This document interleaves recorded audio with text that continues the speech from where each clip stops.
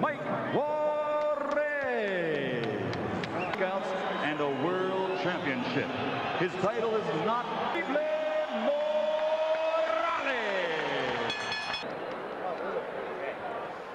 Aaron Terrible Morales, champion Bones Adams back in 1997. He also got knocked down too by Jeff The Blue Juarez in the white.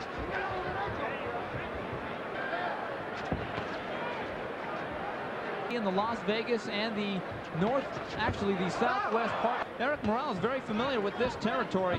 This is the first trip out. Is a nice little uppercut by Terrible Morales. The Staples Center, he said, I'd like a rematch, but all he does is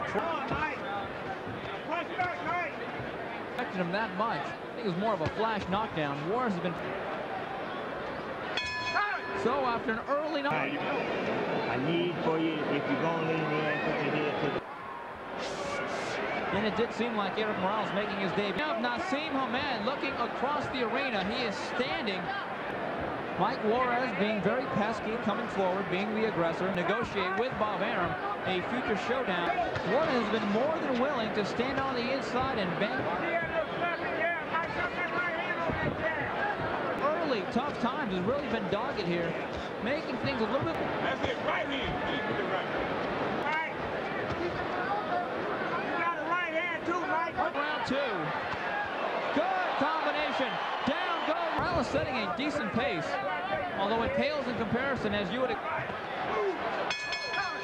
And he does. He's it's just a classic one-two fall.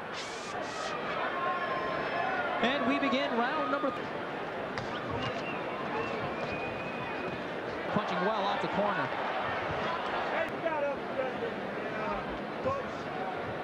And again. There's a good right hand. That might be it. Really dropping the bomb on him. The one-two. Classic. Textbook rematch with Barrera. Maybe a shot with Prince Naseem Hamed. So many. The 10 count and called a halt to the bout. El Terrible